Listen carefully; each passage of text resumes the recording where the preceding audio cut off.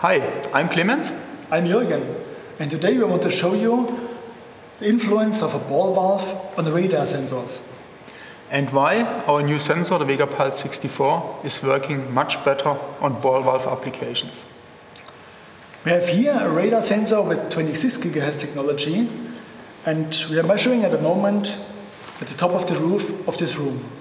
You can see a nice echo, and there is no influence of any disturbance. The same we have here with the VEGAPULS 64. We are measuring up to the roof, and also here we see the echo curve of the sensor.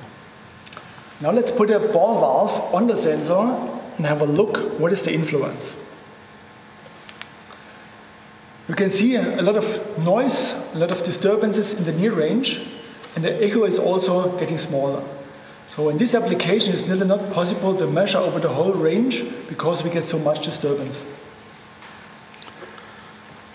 On this side, we also put a ball valve on the top of the VEGAPULS 64. We have a look on the echo curve.